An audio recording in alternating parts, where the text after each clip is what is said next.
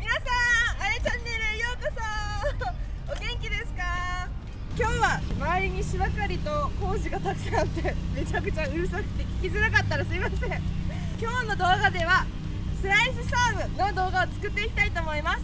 これの前にサーブの打ち方の基礎123パート3までかな？と,、えー、とその後にセカンドサーブの動画も作りました。なので今日は続けてスライスサーブをやっていきたいと思います。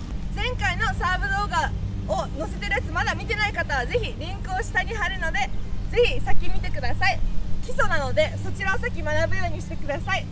サーブはいろんな打ち方があってフラットサーブスライスサーブそしてキックサーブなどいろいろとあります。今日はなのでそのうちのスライスサーブ。Let's go! 前の動画でも話はあるんですけど基礎としてはスライスサーブもフラッ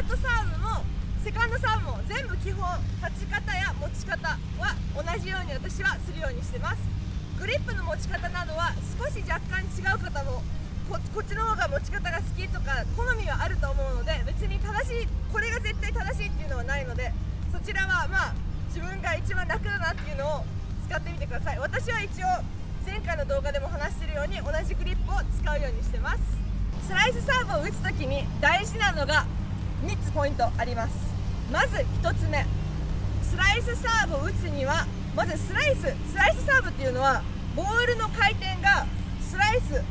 何かをカットする時のようにスピンしてるんでボールが横こういう回転かかって切れていくことをスライスサーブって言います。なのでそれをまあそれを頭に置いといて打ち方としてはボールの ボールの右側薄く切るようなイメージで打つようにすることが第一ポイントです。これがすごく大事になります。もうちょっと後で詳しく話すんで。あと2つ目。ここから、えっと、普通のサーブ。いいサーブを打つ時に前回の動画でも話したように肘から打つようにっていうのは必ず大事なポイントになります。これをしないとラケットがしっかり上に上がってきてそのスライスを打つとこにもいかないのでしっかり肘から打つようにしてください。もう一つ。トス。トスをしっかりスライスサーブの時には前に投げるようにしてください。トスが若干後ろに行ってしまったり左に行くとスライスサーブが打ちづらくなってしまうのでトスの位置もしっかり意識するようにしてみてください。ではこれからちょっとサーブを打っていきたいと思います。ではさっき1つ目のポイント。スライスサーブ打つ時に横ボールをしっかり切るイメージで振るようにっていうのを少し後ろから手本を見せたいと思うので一回見てみてください。トスを上げてボールをしっかり横を切るっていうのはこういうイメージです。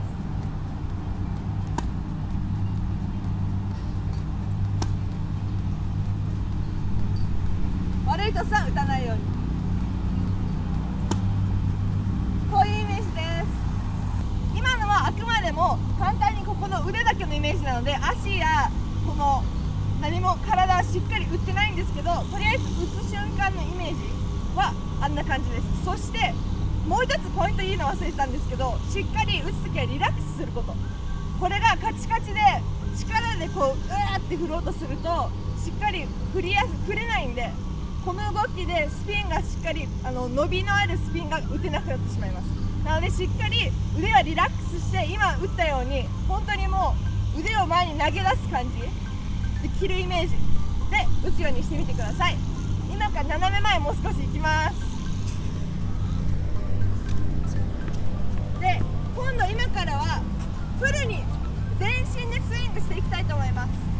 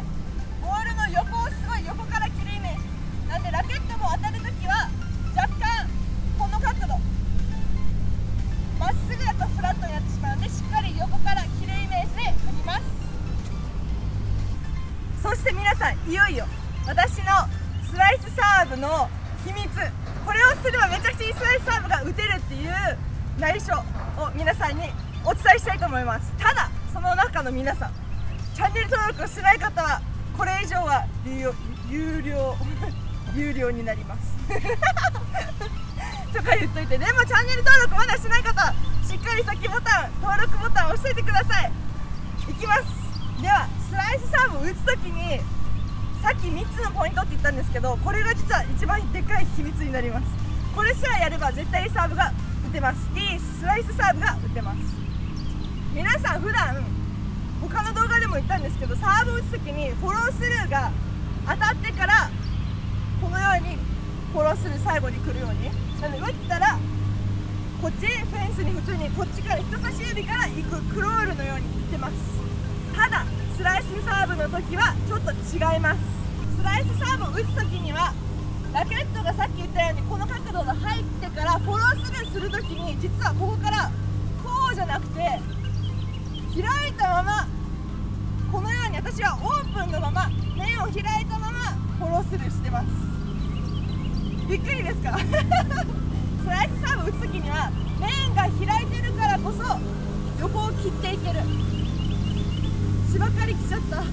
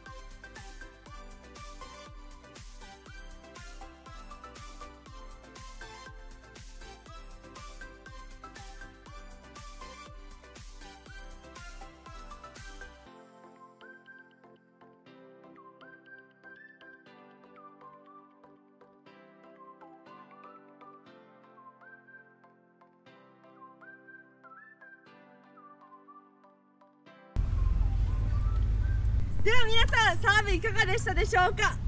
スライスサーブ打ちました。皆さんも一緒にぜひ試してみてください。今日のリビューとして3つのポイント話したのがしっかりえっ、ー、と何やったっけ？しっかり皆さん何でしたか？答えてください。当たってからラケット面しっかり開いた状態でカットするイメージで振ること。2つ目話したのがしっかり肘からリードして打ちに行くこと。3つ目トスはしっかり自分の前にトスをすること。後ろだったら打てないんで前にしっかりトスするようにしてください。そしてビッグシークレット皆さんに秘密を教えたのがフォロースルー。フォロースルーの何でしたでしょうか？皆さん何回でも見直して一緒にたくさん練習してください。一緒にこれからもテニス頑張っていきましょうそして皆さんチャンネル登録してない方はぜひチャンネル登録そして動画のいいねボタンやコメントたくさんいつも見ているのでこれからもよろしくお願いしますいつも皆さんの応援ありがとうございますこれからも応援とサポートよろしくお願いします頑張っていきましょう。